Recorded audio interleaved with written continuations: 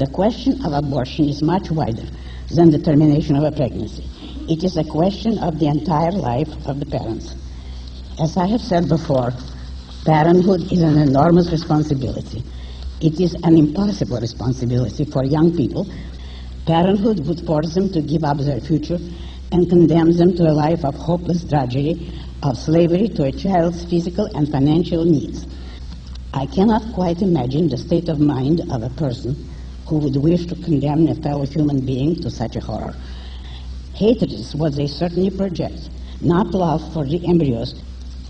If any among you are confused or taken in by the argument that the cells of an embryo are living human cells, remember that so are all the cells of your body, including your hair, your fingernails, and that cutting them is murder, according to this particular idea.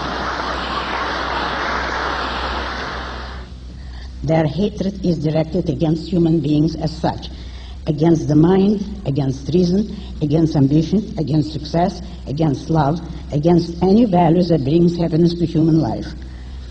In compliance with the dishonesty that dominates today's intellectual field, they call themselves pro-life. But what right does anyone claim the power to dispose of the lives of others by dictating their personal choices? The only alleged justification for it is the theory of collectivism, which claims that man is the property of the state or of the tribe. But this type of propaganda is a valuable revelation of the militant mystic soul.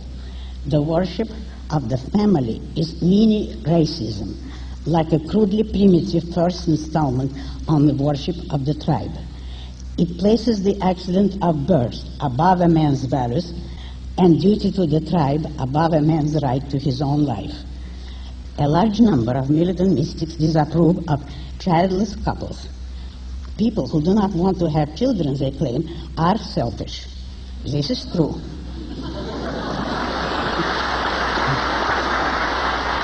Here, the word selfish is used with the proper objectivist meaning. It does not mean the conventional brute who sacrifices others to himself.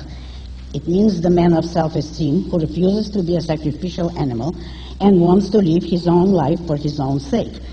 When you bring children into the world, you sacrifice your own sovereignty and become a means to an end. The end, the primary concern, are the children. The primary right involved is not the right of an unborn child, nor of the family, nor of society, nor of God. The primary right is one which in today's public clamor on the subject, few, if any, voices have had the courage to uphold. The right of man and woman to their own life and happiness. The right not to be regarded as the means to any end. Close quote.